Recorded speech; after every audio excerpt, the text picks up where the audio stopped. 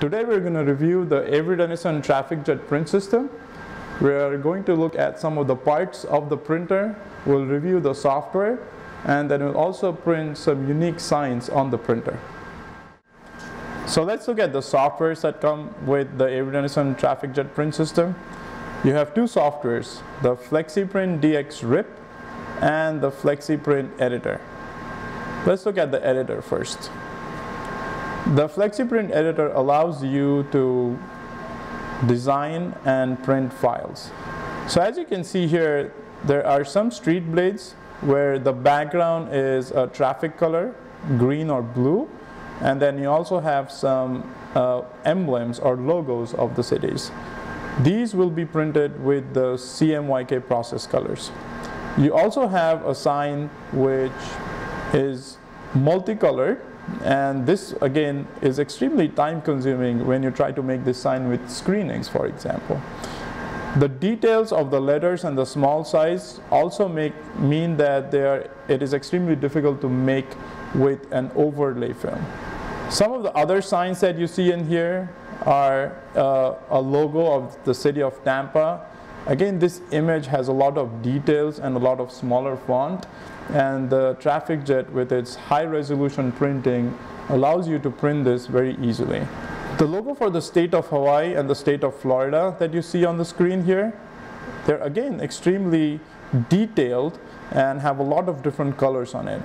It will be impossible to make these with anything other than a digital print system. The TrafficJet will allow you to print these complicated logos directly onto an Avery Dennison reflective film. Let's look at the stop sign. The TrafficJet allows you to put some fine details on the stop sign. As you can see, any sign, you can put a security mark on the bottom of that sign or in one corner of the sign.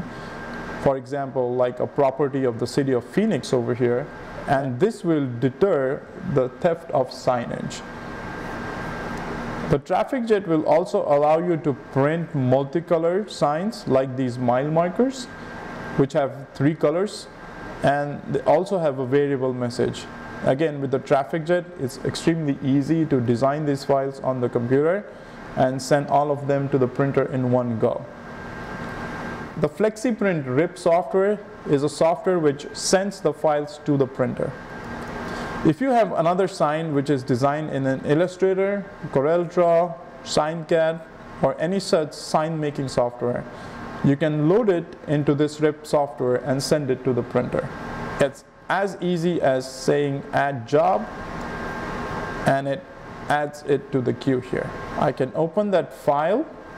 I go up here and select the right preset. I'm printing on Avery Dennison's T6500 high intensity prismatic. Once I have my preset selected, I can press this button and it will communicate with the printer and it will automatically download the size of the roll. This is the job size and it's easy to just adjust it to the size of the sign that you want to print. I can print multiple copies by adjusting this number over here. So I can press this button to justify them to the center or the right or left. Once you have all the settings selected on the first tab over here, you don't have to go in into any additional tabs. By selecting the right preset from the top, you have already selected the right printer settings. It's as easy as that. If you want to send it to the printer now, press the send button. The sign will now rip, which means that the data is being transferred to the printer. When the sign is ripped, it will now give you a progress of the printer over here. Another great feature allows you to nest the signs that you want to print. So I select the signs that I want to print and press the nest button over here. And what the nesting software will do is it will adjust the copies so that I get, I maximize the use of my sheeting. Again, when you're ready to print, just send it to the printer using the send button over here. This is a really great feature which utilizes the omnidirectionality of our sheeting. The printer has a control panel on the right over here and there are three heaters. The preheater on the back, the platen which is under the printhead, and then the dryer which is on the front over here. The dryer is responsible to dry all this ink so that the signs are dry by the time they go to the rewind. When you buy the printer, the printer comes with the automated rewind. The rewind has a sensor bar and this is where all the media is collected. The sensor bar acts to hold the prints down so that they're flush with the dryer. The inks are loaded in these cartridges. Each bay holds about four colors. You have the process colors loaded here. You have the magenta, cyan, black and yellow. And then you have four traffic colors. Traffic black, traffic green, traffic red, and traffic blue. The inks are available in two sizes. You have the 440 ml, which is about half a liter of the ink. And with this, depending on the type of signs that you're printing, from full coverage like street signs or low coverage like speed limit signs, you should be able to get about 600 square feet, which is about a roll of our sheeting. You also have another bigger option, which is the 950 ml. This is about a liter of ink, which comes in a bag and has to be loaded using this adapter. This adapter goes directly into the bay of the printer over here. With this one liter bag, you should be able to print about 12 to 1300 square feet.